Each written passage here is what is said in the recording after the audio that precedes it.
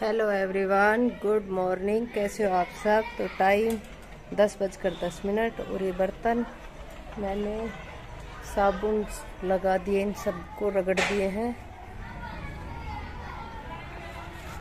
और अभी मैं इनको धोने वाली थी तो ध्यान आया कि चलो थोड़ी सी वीडियो बना लेते हैं। और ये डब्बा हुआ है घी का खाली। कल परसों दे दिया है दो किलो घी। और हमारे ये पेड़ बच गए हैं और इस पर एक ये बैंगन लगा हुआ है, देखिए। दो पेड़ खराब हो गए हैं, बाकी बचे हुए हैं। तो कलियों को अच्छे से साफ़ भी कर दिया, ये देखिए दंताड़ी से। और पेड़ की कटाई हो चुकी है। अभी रखूँगी दूध। पानी मैंने गर्म लिया है बर्तन साफ़ करने के लिए। तो अभी आ गई हूँ मैं बाहर। तो ये देखिए बाहर का। थोड़ा सा बचा हुआ है ये। और ये तसला रखा हुआ है यहाँ। अभी गेरूँगी भैंस के ठाण में थोड़ा सा रेत। वाले में। और चलिए, एक हिल है और एक हिल और भर जाएँगी क्योंकि कुड्डे अभी नहीं डाले हैं। तो चलिए करते हैं बर्तन साफ़, बने रहिए मेरे साथ। तो अभी मैं करूँगी बर्तन साफ़। मैंने पहले बता दिया था, साबुन मैंने इनको लगा दिए सबको। तो अभी इनको फटाफट से धो देती हूँ। और ये एक स्टील का डब्बा है। ये दो दिन पहले ही खाली हो गया था थोड़ा सा घी बचा था इसमें। आज उसको मैंने यूज़ कर लिया है, पराठे बना लिए हैं। तो इसको साफ़ करके रख दूँगी। तो हमारे यहाँ घी का भाव अभी आठ सौ रुपये किलो है। आप सबके यहाँ क्या रेट है घी के? प्लीज़ कमेंट करके बताना। तो आज ये डोरी ठीक की थी तो चाय के बर्तन भी कप गिलासी का ही हो गए हैं। तो चलिए फटाफट से कर देते हैं बर्तनों की सफ़ाई।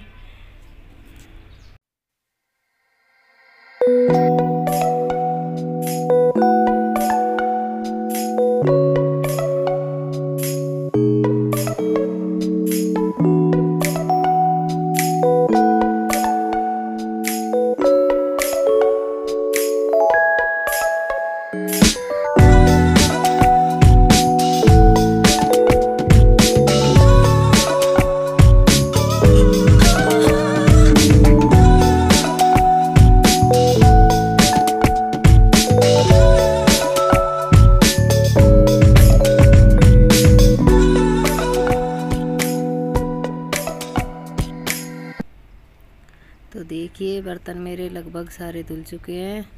तो अभी एक आया है, आधा किलो दूध लेके जाता है। तो उसको दूध देने के लिए मैं चली गई थी। तो वीडियो को मैंने बंद नहीं किया। सोचा कोई बात नहीं, आप लोगों से दो मिनट बात कर लेंगे। तो अभी मैं उसको दूध देने के बाद थोड़ा सा गर्म पानी और लेके आ गई हूँ, क्योंकि पानी थोड़ा कम था।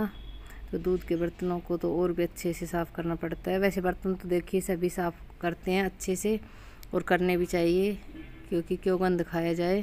तो ये देखिए बर्तन मैंने धुल दिए सारे, यहाँ थोड़ा पानी डाल दूँगी। तो चलिए अभी, और ये देखिए मैं आ गई हूँ पीछे की साइड। और एक मिनट, ये भरोटी मैं दो खींच के लेके आई हूँ, एक मिनट बैठ जाती हूँ ऊपर। गेट बहुत हाइट में है ये। तो यहाँ, ये देखिए, कल मैं बना रही थी गोबर थेपने के लिए पथवारा।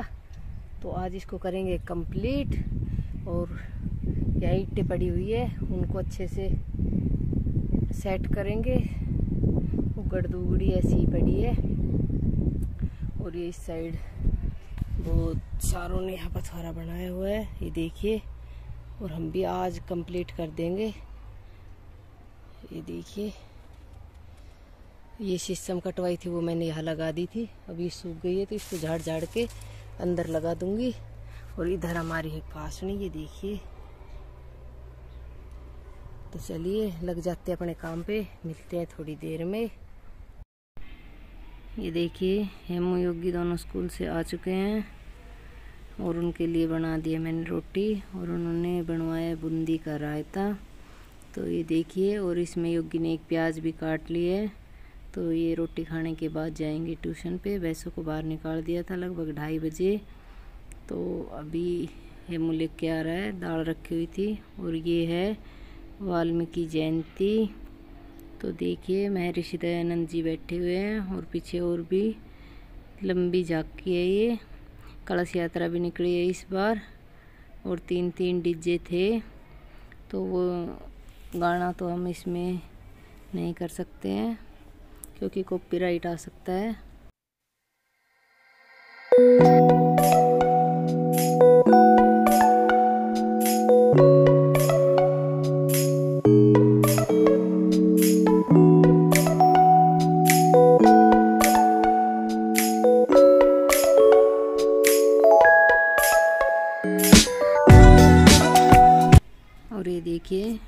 लेडीज़ कलश यात्रा लेकर जा रही है। तो बोल रही थी, इनकी वीडियो बना दे। तो मैं कह रही थी कि सबकी बना दी आपकी। तो ये देखिए, ये जो आप गाड़ी देख रहे हैं, ये पता नहीं इसमें क्या दिक्कत हो गई है। तो इसलिए लेडीज़ आगे निकल आई है साइड से। तो वैसे ये थोड़ी देर बाद चल रही थी। और माजी भी यही खड़ी थी। तो सभी राम राम करके निकल रही थी और ये देखिए, सारी इकट्ठी हो गई है। ये देखिए तो हमारे यहाँ बड़े धूमधाम से वाल्मीकि जयंती मनाई जाती है। किन किन के यहाँ मनाई जाती है प्लीज़ कमेंट करके बताना। और माजी खड़ी है यहीं पर, क्योंकि सभी जाके देखने के लिए देखिए कितनी भीड़ हो रही है। और ये देखिए, ये गाड़ी आ गई आगे। और मैंने अब गेट बंद कर दिया था क्योंकि बकरी आ रही थी तो उसने कह दिया था कि गेट बंद कर दो, कहीं आपके अंदर ना चली जाए ये। तो ये देखिए, बहुत ज़्यादा भीड़ होती है इस दिन और हर वाल्मीकि जयंती पर ऐसे ही धूमधाम से मनाते हैं ये। तो आप भी आनंद ले लीजिए।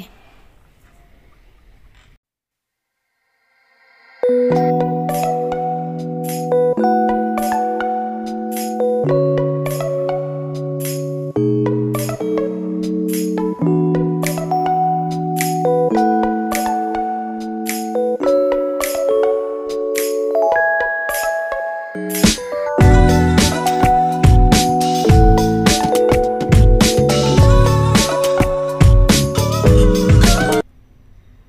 ये राधा कृष्ण की झांकी। देखिए, म्यूज़िक मैं इसमें नहीं डाल सकती थी, मजबूरी है, वरना बहुत ही अच्छा म्यूज़िक बजता, बज रहा था और बहुत ज़्यादा धूम मची हुई थी, क्योंकि आप लोग अंदाज़ा लगा सकते हो कि तीन तीन डीजे बजें तो कितना शोर शराबा होता है और इस तरह के टाइम पे रौनक न्यारी हो जाती है। तो आप देख सकते हैं भीड़, ये सभी वाल्मीकों की हैं। और ये देखिए, इनको आप जानते होंगे, भजनों में हमारे साथ रहती है। ये है जीजी कमला। तो आ रही थी, ये हमारे पास ही, प्रसाद ले लिया है सभी ने।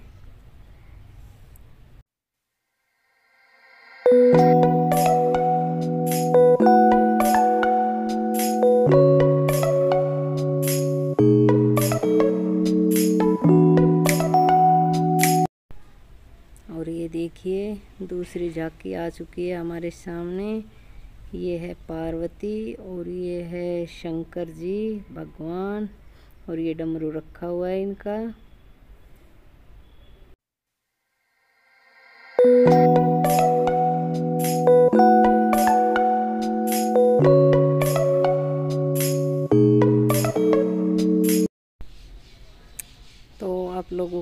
कैसा लगा इनका डांस और ये पूरा प्रोग्राम जितना भी घर के आगे से जा रहा था, जिस तरह से भी मैंने इनको रिकॉर्ड कर लिया है और आप लोगों के साथ शेयर किया है। तो देखिए, थोड़ा सा म्यूज़िक मैं आगे डाल रही हूँ। तो थोड़ा सा तो आपका भी सुनना बनता है। तो सुन लीजिए और आनंद लीजिए झाकी का।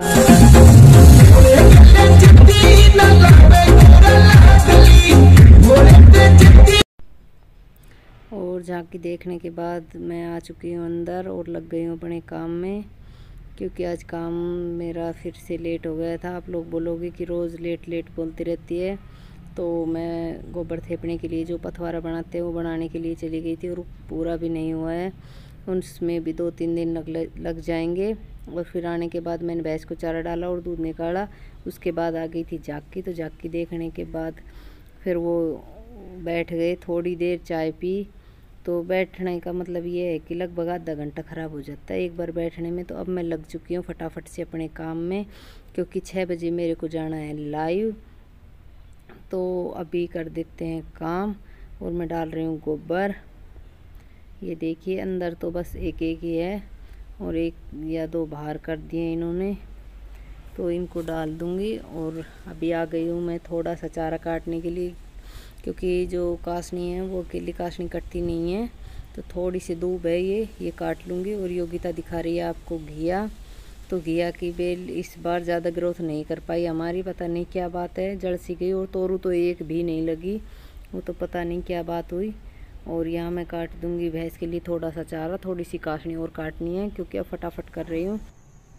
ये देखिए टाइम पूरे आठ बज गए हैं। इन कपड़ों की तय करनी है, बिस्तर हमने बाहर रख दिए और ये मुझे थाली लेके आई थी मैं बाहर। देखिए रोटी और घी शक्कर खाएगा आज हमारा भाई।